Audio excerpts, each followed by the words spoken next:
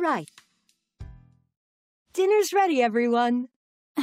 Well, I should probably get going. Come now, why don't you stay and eat with us? Yeah, that's a great idea. Well, you heard them. Uh, what do you say? I mean, who could turn down an invitation like that?